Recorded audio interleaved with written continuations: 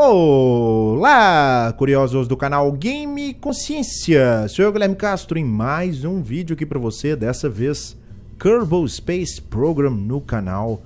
E nesse episódio, você já tá vendo aí no título, nós vamos para Mimos. Eu criei aqui a, o meu foguete, que eu denominei a missão Mimos Machine. Para quem já viu o Jovem Nerd, sabe que tem uma missão que eles fizeram Moon Machine, né? E eu achei interessante e quis, quis me inspirar neste nome aí também, beleza? Uh, nessa missão nós vamos para Mimos. Eu tenho algumas poucas peças liberadas, né? No último episódio a gente foi a gente foi para missão turística, né? Eu fiz, a gente foi para os polos, tentamos ir para os polos, viu que não estava tão legal. E agora nesse episódio, um dos episódios também a gente já fez um flyby em Moon. Nesse episódio a gente vai fazer realmente ir para Mimos, né? Nós vamos para Mimos. E aqui eu criei o nosso foguete, né? Bem interessante. Ele tem essa cápsula ervilha aqui. Nós vamos levar os dois Kerbals para lá. Um deles tem que ser um cientista para a gente poder resetar alguns experimentos. Outra coisa que eu fiz questão de colocar, e você também, se você utilizar tanto a cápsula cebola ou a cápsula ervilha, você tem que colocar uh, um reaction wheel, tá? Fica esperto nesse lance. Ou então você coloca RCS ou qualquer outra coisa do nível. Mas coloque um reaction wheel pois essa cápsula ela não tem reaction wheel, então você vai sofrer bastante em relação a isso aí. E eu estou utilizando também os novos tanques aqui, né? Que são da versão 1.4 e também do Making History, a DLC do Kerbal, beleza? Eu gostei muito desse design, ficou bem legal. Esse aqui é um tanque de combustível também. Aqui tem dois, né? Um menor de 220 e um de 440. O motor Terrier, que é mais eficiente que a gente tem no vácuo para esse tipo de, de, de lander, né? Não tem um outro motor que encaixe aqui. Você não encaixa aqui. Provavelmente não, né? O Poodle também não. Engraçado, não tem nenhum motor que encaixe nesse tanque aqui, né? Nesse diâmetro. A princípio não. A princípio não temos nada que encaixe ali. Mas não é problema. Eu coloquei um outro adaptador, outro adaptador também coloquei esse motor aqui, Wolfhound, que é um motor que o ISP dele no vácuo é uma coisa absurda, cara. 412 de ISP. Se for olhar o Poodle, tem 350. Se for olhar o Terrier, tem 345. Então você vê que esse motor ele é muito eficiente. Esses tanques aqui vão ser suficientes para a gente fazer a nossa transferência para Mimos e também a nossa finalização de órbita, beleza? Eu coloquei alguns Solid Busters também e uns Skippers aqui para a gente realizar uh, a nossa decolagem, correto? Então vamos lá, eu vou levar, vamos conferir aqui, é sempre interessante. Bob Kerman, Jebediah, vamos trocar a roupinha deles. Se bem que não é para ir para Moon, né? Vamos colocar essa roupa que eu acho ela bem legal. Então vamos, vamos começar o nosso tutorial para você tomar um cafezinho aí. Vamos começar o nosso tutorial da seguinte maneira. Uh, ir para Mimos não é tão simples quanto ir para Mon, apesar de a gente usar quase a mesma quantidade de delta V, né? A diferença é que para ir para Mimos você tem a compensação da inclinação. Olha só, Mimos, é, vamos marcar o alvo aqui.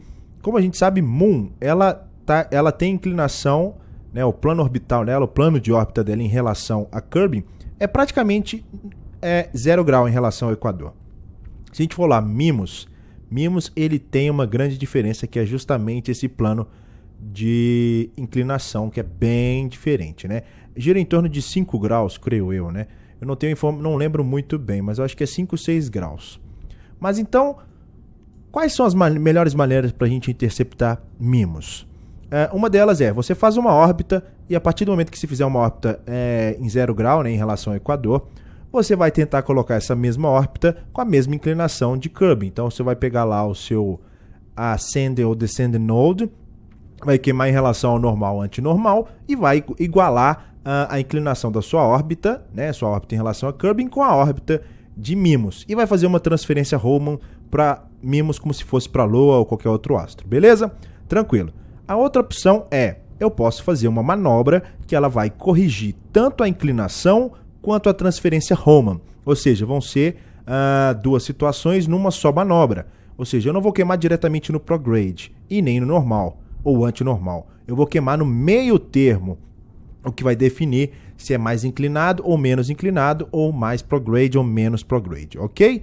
E a outra opção, que é o que a gente vai fazer, que é uma, uma parte não muito guiada, é justamente a gente tentar fazer a nossa decolagem consertando a nossa inclinação, ou seja, a órbita ela vai já ficar meio que pronta. A gente não vai tentar corrigir ela, a gente não vai fazer uma órbita zero grau e também não vamos modificar ela já em órbita. A gente vai fazer a órbita é, com a mesma inclinação de Mimos. E como que a gente faz isso? A questão é a seguinte: eu tenho que tentar alinhar o meu KSC, né, com um possível ponto do ascending ou descending node do plano orbital de Kirby. Se é que vocês me entendem, eu vou imaginar que aqui a gente tem Moon, né? Moon ela tá zero grau em relação ao equador de Kirby.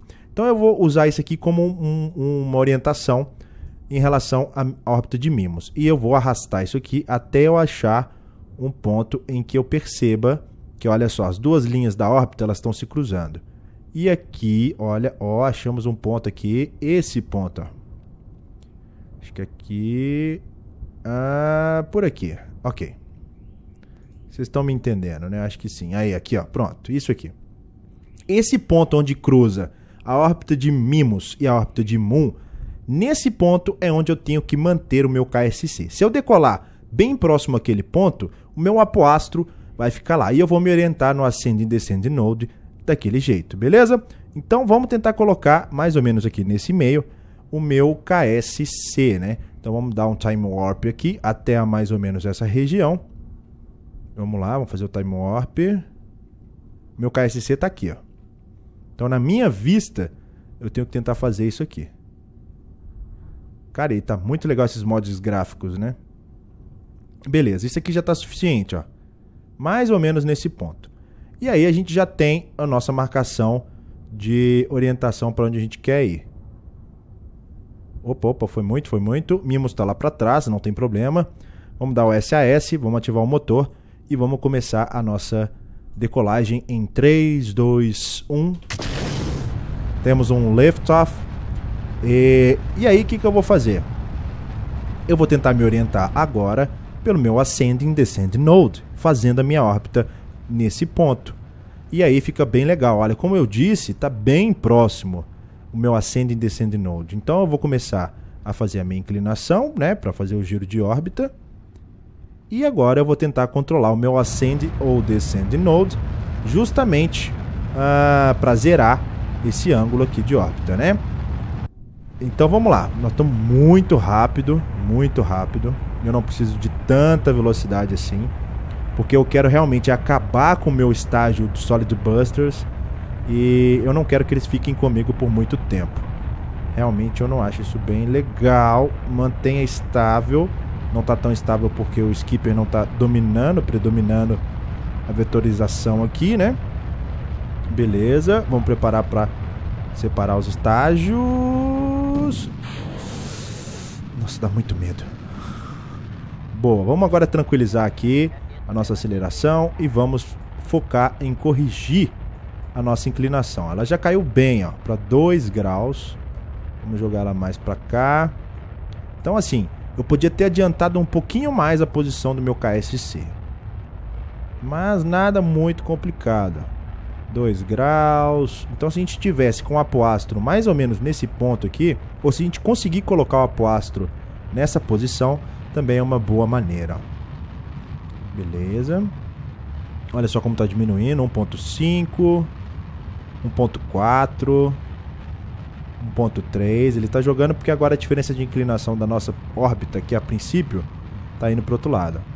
1.0. 0.9. Bem tranquilo. O apóstolo está em 50 mil metros começou a mudar, agora começou a subir. Ou seja, esse ponto aqui é o que a gente vai conseguir mais proximidade com a inclinação, ou seja, inclinação de 1. Cara, tá perfeito. Eu acho que para o que a gente está fazendo, que era uma inclinação inicial de 5 graus, a gente caiu para 1.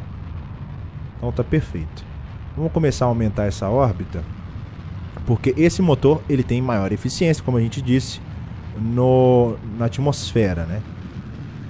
eu deveria ter feito isso aqui sem ter desinclinado. Vamos subir mais. gente acabou perdendo um pouco de velocidade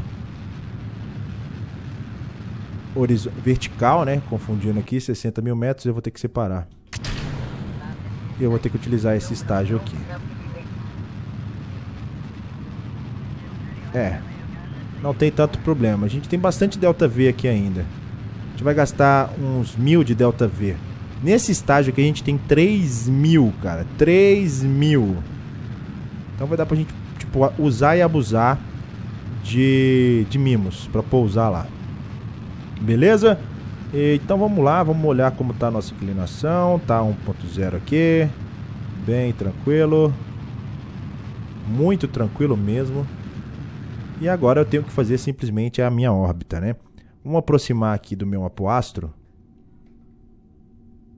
Vamos aproximar do nosso apoastro aqui. E vamos deixar em torno de 20 segundos. Eu acho que isso aqui vai ser bem tranquilo. Isso. Tranquilo.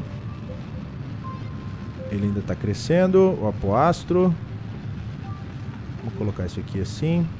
Beleza, aproximamos do apoastro. Bem, 7 segundos. Perfeito. Estamos aqui exatamente em cima do apoastro. Vamos jogar ele um pouquinho para frente agora. Beleza.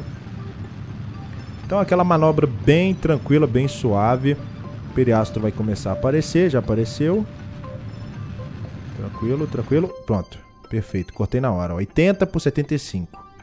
E a gente ainda pode corrigir aqui, se for o caso, a, minha inclinação em relação ao alvo, correto? Beleza. Uh, se eu quiser, né? Eu vou tentar interceptar mimos nessa região. Ó. Nessa região aqui. Vamos ver se eu vou conseguir. Provável que não, né? Ou que sim, não sei. Vamos tirar aqui. Boa. Aqui a gente tem uma boa aproximação. Eu posso tentar corrigir um pouquinho a inclinação. 1.0. E aí você tem que fazer aquele jogo, né? Opa, aqui deu uma aproximação legal. Possivelmente pode ser o problema da inclinação.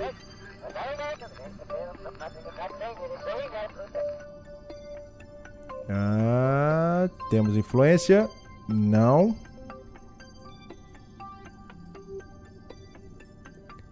Vamos aqui.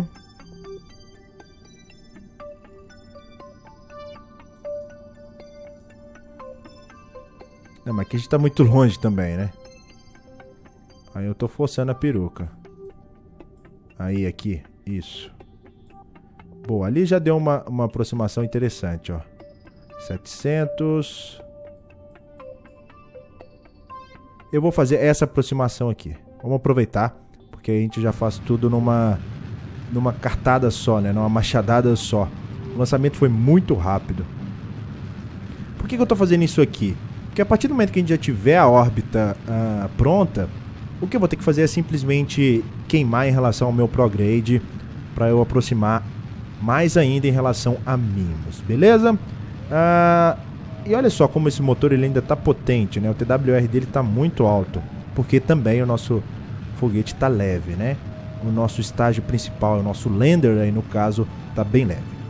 Lembrando então, se você é novo no canal, se inscreva, deixa o seu like aí para quem está acompanhando a nossa série de Kerbal, bem legal. Se você quer dar uma olhada nos outros tutoriais também, essa nova série que eu estou fazendo da 1.4 uh, ah, com a DLC Making History, eu vou tentar imitar algumas outras missões e vai ser bem legal a companhia de vocês aí, beleza? Uh, vamos continuando a nossa aproximação em mimos. Beleza, ó. O mínimo de delta V ele é suficiente para a gente já começar a ter uma boa noção de que quanto mais distante o astro, uh, mais refinado tem que ser a nossa queima, os nossos movimentos aqui, né? Você já viu que só essa queima aqui de meio meio de delta V, isso já teve uma influência absurda em relação a Mimos, né? Por ser um astro muito distante. Então vamos queimar aqui e reduzir um pouquinho, ó. Ó, já começou a aparecer. A gente tá meio que... Ai, opa, foi muito. Legal. Aproximação desse lado eu acho melhor. Desse lado aqui. Porque a rotação de mimos tá pra lá. Apesar de a rotação de mimos ser bem lenta, né? Bem lenta. Então aí fica a critério o que, que você pode fazer, ó. Eu vou colocar no meu backspace para voltar. E aqui a gente pode tentar fazer o seguinte. Para piorar a situação. Eu vou colocar no meu normal e eu vou tentar diminuir um pouco o meu Ascending Node aqui. Vamos ver, eu tenho que desmarcar isso aqui, senão ele vai começar a puxar para o meu retrograde. Eu acho que eu fiz besteira, era no anti-normal. Porque eu queria era puxar a minha órbita mais próxima para Mimos, né? Então vamos fazer isso aqui. Tranquilo? Calma, calma, calma, calma. Boa, boa.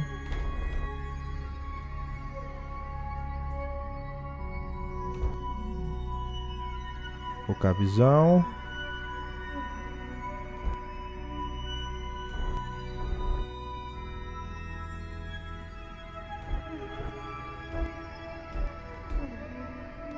Tá, agora eu vou ter que fazer isso aqui. Eu acho que eu fiz uma bela de bonita cagada, né?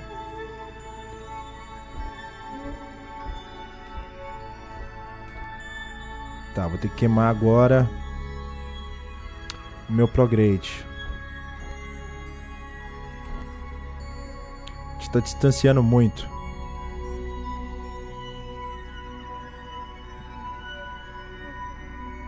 Beleza, travou no prograde aqui. E vamos marcar em relação ao alvo. Boa. Mais um pouquinho em relação mais próximo ao radial. Boa. Aqui eu já tenho uma aproximação interessante. Vamos focar aqui. Perfeito. Perfeito. Tá. O que eu posso fazer agora é o seguinte. Uh, vamos fazer uma órbita aqui. Que esse aí é um outro processo que eu posso fazer. Vamos adicionar manobra. Vamos tentar corrigir aqui, ó. Eu sei que não está no melhor ponto, né? Mas caiu para 11. 7. 6 e pouco. E é lógico que eu vou acabar arrastando isso aqui, né? Pra cá. 10. 8.1. É, gastamos um pouquinho aqui de delta V. Ah, a gente vai ter uma um encontro na volta, né, no retorno. Então o que, que eu posso fazer aqui? Dar um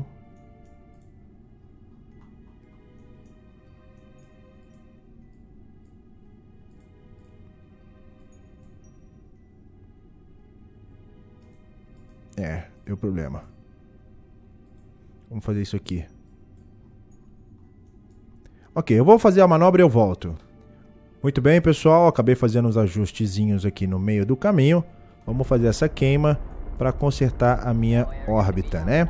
Então, ela vai começar a se locomover aqui bem loucamente. Mas a gente vai conseguir, ó. Começou a voltar. Tranquilo. Bem suave.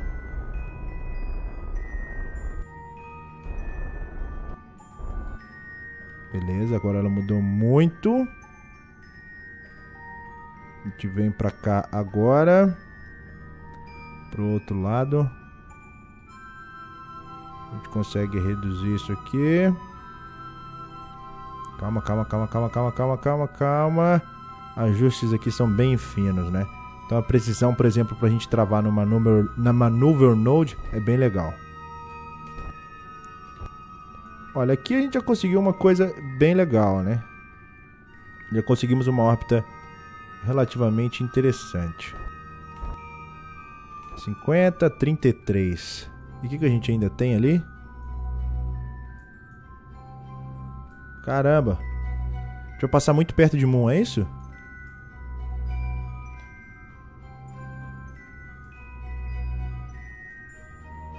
Cara, é sério?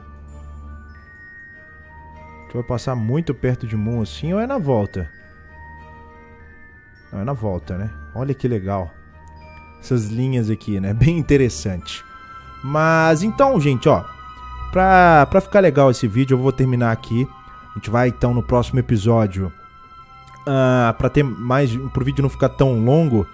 Eu vou terminar esse episódio por aqui. A gente vai terminar a outra parte no landing, né? Chegando lá, aproximando e fazendo a nossa missão de pousar em Mimos. Beleza?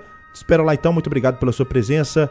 E já vai dar next aí no próximo vídeo para você acompanhar. Um abraço. Tchau, tchau.